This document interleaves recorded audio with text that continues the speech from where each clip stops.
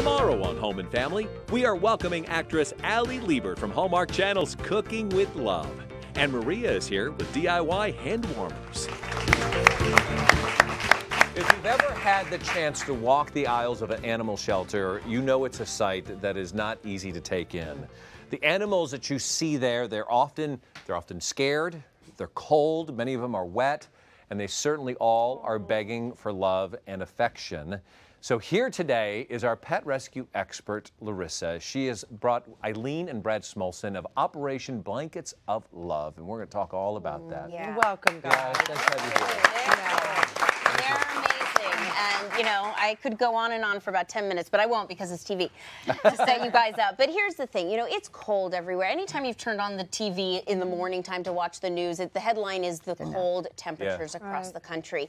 And a lot of people think about keeping other people safe. Stay indoors, stay warm, you know, especially if you're older or really young.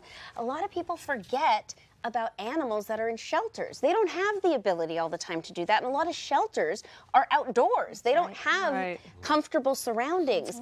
And you know, growing up I did a lot of donation drives myself because of course I'm, you know, a crazy dog lady. and so I was actually written up in my local paper about it one year, which was really exciting. Uh, it was really cool.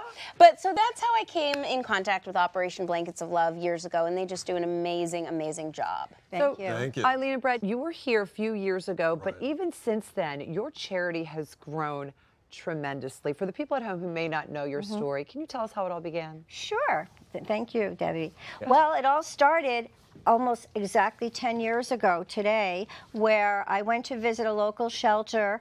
They built a $20 million shelter from an ugly pound. So I went in, in in January, and it happened to be rainy, and I saw all the dogs were were freezing and there were no blankets. So and it was a Sunday, so nobody was really there in charge. So by 24 hours I found the person in charge and I found out there was no budget for any bedding, and that's across the country, county and city shelters. So I said, Well, I can't imagine my little dog Ginger, who I adopted, freezing in a shelter like that. So I said, I have to do something. And that night I thought of Operation Blankets of Love to collect recycled, gently used blankets and towels for that shelter. Oh my Yeah. Boy, did And it you- took off. And Yeah. it took off. Wow, and then Big you went from shelter to shelter to shelter. Yeah. It never stopped. Yes, there's six city shelters in LA and six county. And now we do, how many do we do, Brad? Well, we do about a thousand homeless animals a month uh, benefit from Operation Blankets of Love. Really? Yeah. I think, and I know I'll speak on behalf of my dogs, Fred and Norbert. They're both blanket inspectors. Oh, They yeah, are this officially stamped with that because they love curling up in a blanket. Mm-hmm. But you say it's more than just about warmth and comfort. What else do these blankets? do Okay, mean by well, that? thank you for asking, Mark. Experts and studies actually show when a dog or a cat are in a shelter, they're miserable and their immune system goes down and they're shaking and they're hovering in the corner, and nobody wants that dog or cat. But as soon as you put a blanket down, they snuggle in it, could be a cat or a dog, and guess what? The pictures show that's Yeah, there you actually before and after. People ask, how do I make that dog smile? A soft blanket.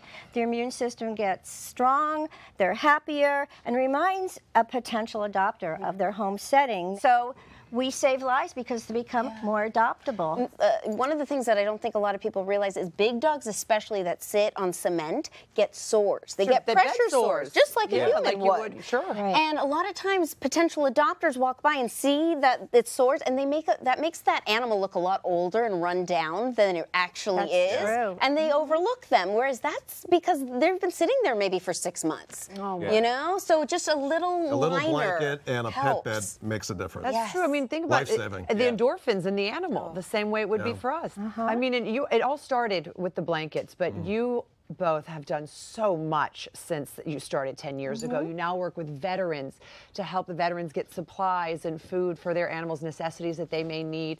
You you both go to disaster sites where there's so many homeless animals that do need homes and you help them find homes and you also give them supplies.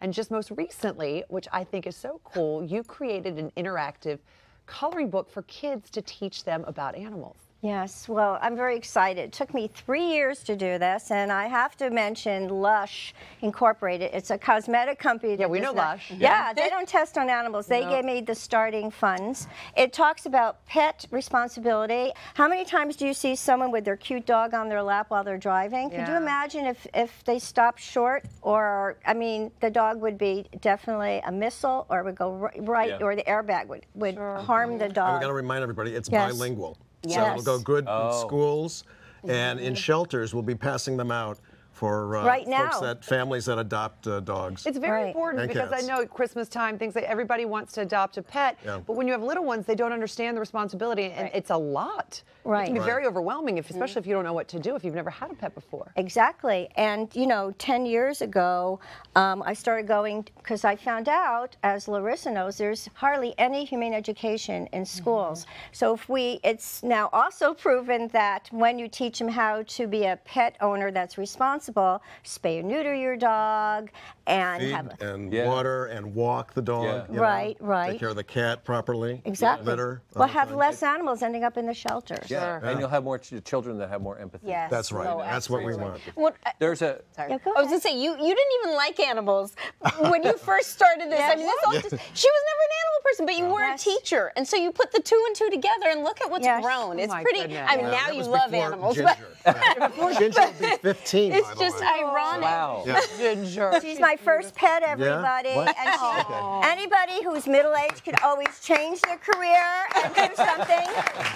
if you believe in it, you can make it happen. That's right. I Brad, tell So them who else we um beside how Oh, many okay, shelters? So, well, we uh, dozens of shelters, but I just want to say this last year has been incredibly busy. 4,000 pounds of uh, supplies that we collected went to Hurricane Harvey. Uh, Texas, 1,500 pounds went to Mexico City for the earthquake. We were up in the Sonoma fires months ago. Yep. And then the Ventura in LA County. We've been busy. We've been on the front lines. You do such wonderful work. do. and We really appreciate I it. don't know.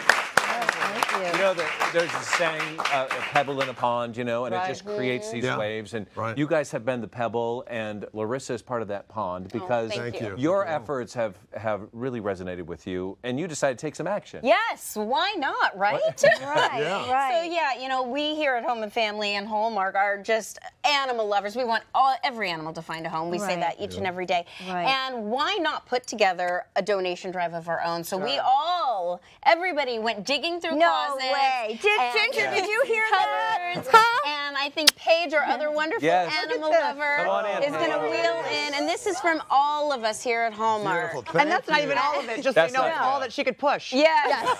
There's more in the back. Yes. It's going home with you. Thank you. You know, people don't realize um, in the summer, people say, Why do you need blankets? Larissa, tell them why they need blankets in the summer in the shelter. Well, because they're hosing them down a lot of the time to clean the shelters all the time. Oh, yeah. And so it doesn't matter the weather and the temperature. They're always getting wet, and it's just that comfort. And a lot of babies are born in the summertime. And something as to snuggle up to. Yeah. that's That's what Right, that's what I was going to say. You sleep Yeah. with a blanket or Yeah. a, a sheet in the Yeah. summer, don't you? So why Yeah. How many sleep with their animals? Yeah. Are you Exactly. Everybody. raise your I hand. don't, need a, I don't need a blanket when I'm Three with cats. Warm. Three cats, a dog, and, and Eileen. And Eileen, thank you both Thank you so so much for much. everything Thank you. you do. Thank you. Thank you. If you'd like more information on how to help this wonderful organization keep growing or donate dog items, all you have to do is go to operationblanketsoflove.org. Next up, nutritionist Vanessa Rissetto is here. She has got a dish that's big on taste and good for your waist. Hi, Vanessa. Hi, come back and I'll show you how to make boring Brussels sprouts fun and delicious.